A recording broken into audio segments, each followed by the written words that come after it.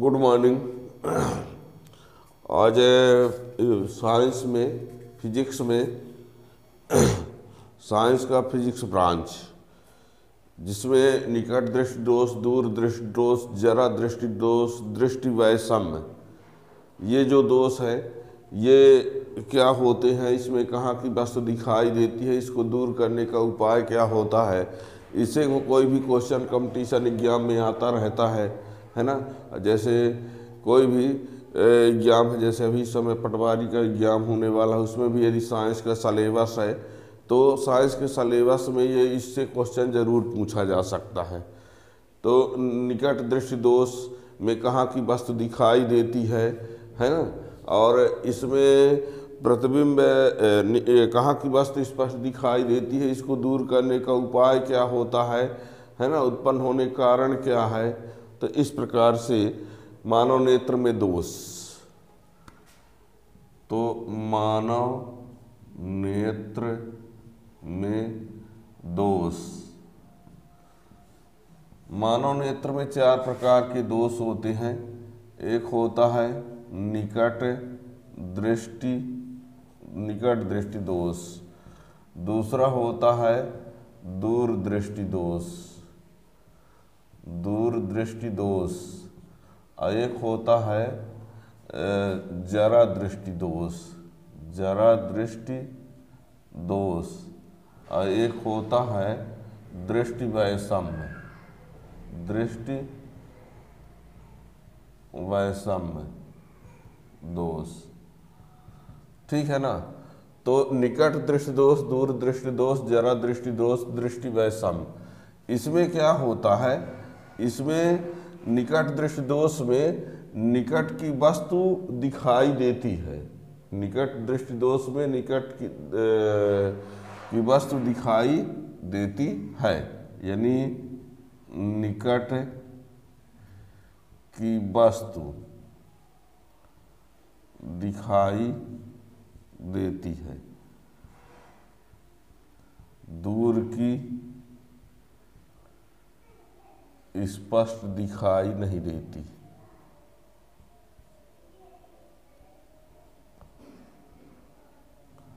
इसी का उल्टा इसमें होगा, दूर दूर की वस्तु,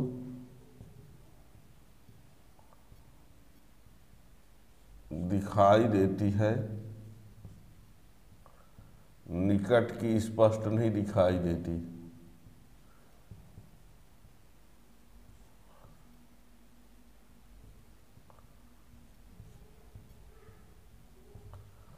इसमें न तो पास की और न ही दूर की स्पष्ट दिखाई देती है। न तो पास की, न तो दूर की स्पष्ट दिखाई देती है। और इस वाले में ऊर्ध्वाधर और क्षैतिज। एक साथ दिखाई नहीं देती है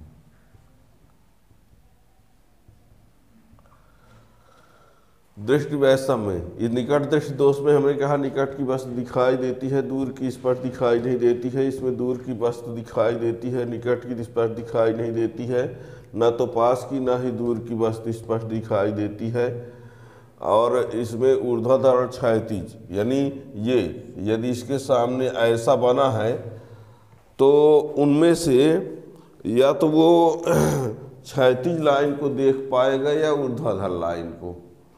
यहाँ पर ये इसमें दृष्टि वैसा में जब दोष होता है तो उसको ऊर्ध्वाधर और क्षैतिज दोनों एक साथ नहीं दिखते हैं। ऊर्ध्वाधर और क्षैतिज एक साथ नहीं दिखते हैं। इसको बोलते हैं क्षैतिज और इसको बोलते हैं ऊर्ध्वाधर। इसको बोलते हैं क्षैतिज इसको ऊर्ध्वाधर।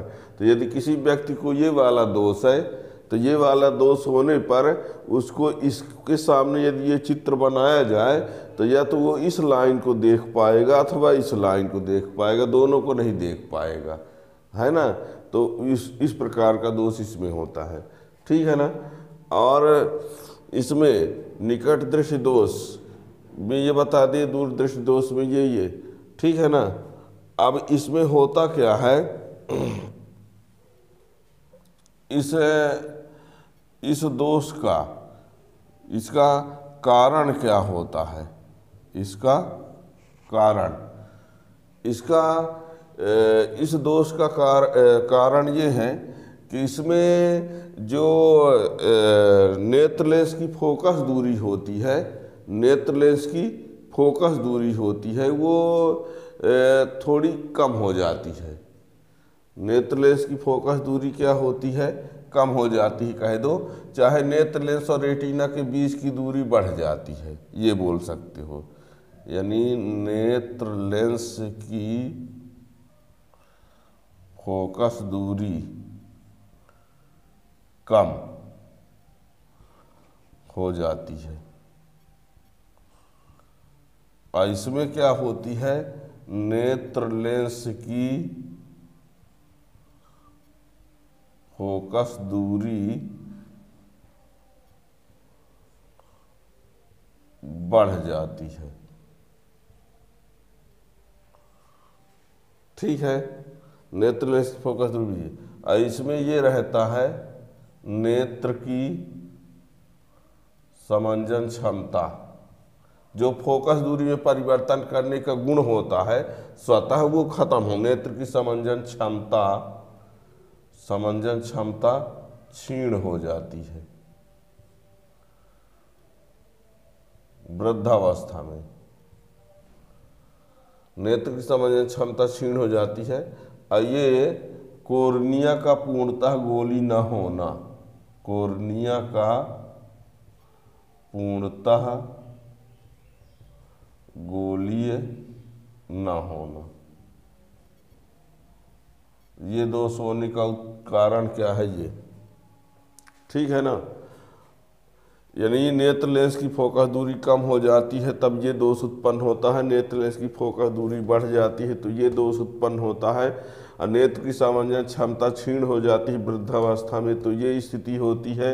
आज कोर्निया पूर्णतः गोली ना हो मान लीजिए जन्म से ही कोर्निया पूर्णतः गोली नहीं है, तब या कि किसी एक्सीडेंट से वो कोर्निया क्या हो गया?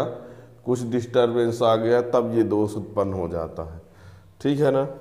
अब उपाय क्या है? इसका उपाय है, दूर करने का उपाय, इसके लिए अवतल लेंस लगाया जाता है। क्या? अवतल लेंस का उपयोग किया जाता है। इसमें उत्तल लेंस का उपयोग किया जाता है। इसमें द्विफोकसी लेंस, द्विफोकसीय लेंस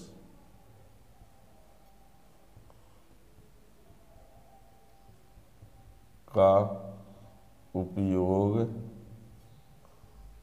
किया जाता है। द्विपक्षी मतलब आधे भाग में क्या रहेगा? उत्तल रहेगा, आधे भाग में अवतल। ठीक है ना? जैसे नज़दीक की वस्तु को देखना होगा तो उसके लिए निचला भाग जो रहेगा, वो कौन सा रहेगा? उत्तल। और दूर की वस्तु को देखना ऊपर ऊपर वाला भाग, है ना? यानी जैसे ये ग्लास हो गया ना तो ये नीचे उत्तल रहेगा और ऊपर जो रहेगा वो क्या रहेगा? अवतल रहेगा। ठीक है ना? और इसमें इसका कोई खास नहीं है, फिर भी बेलनाकार लेंस, कुछ काम करता है, बेलनाकार लेंस। ठीक है ना? बेलनाकार लेंस का उपयोग किया जाता है। इसका कोई खास उपाय फिर भी नहीं है, फिर भी है ना? तो मानव नेत्र में, मानव नेत्र प्रकाशी प्रकाशिक यंत्र होता है, प्रतिबिंब रेटिना पर बनता है है ना? लेकिन यदि किसी कारण से रेटिना पर प्रतिबिंब नहीं बन पाया तो कुछ दोष इस प्रकार से है। निकट दृष्टि दोष दूर दृष्टि दोष जरा दृष्टि दोष दृष्टि वैषम निकट में ध्यान देना नाम, आप लोगों को ये लगता होगा कि निकट दृष्टि दोष में निकट की ही न दिखाई देना। निकट दृष्टि दोष में निकट की दिखाई देती है, दूर की नहीं दिखाई देती। निकट दृष्टि, समझ लो, निकट दृष्टि मतलब नज़दीक की दिखना। निकट दृष्टि दोष मतलब नज़दीक की दिखाई देना, दूर की दिखाई न देना। बहुत कुछ कन्फ्यूज़न हो जाता है कि लगता है निकट दृष्टि दोष में निकट की न दिखाई देना। जबकि निकट दृष्टि दोष का मीन्स होता है निकट की दिखाई देना, दूर की दिखाई न देना।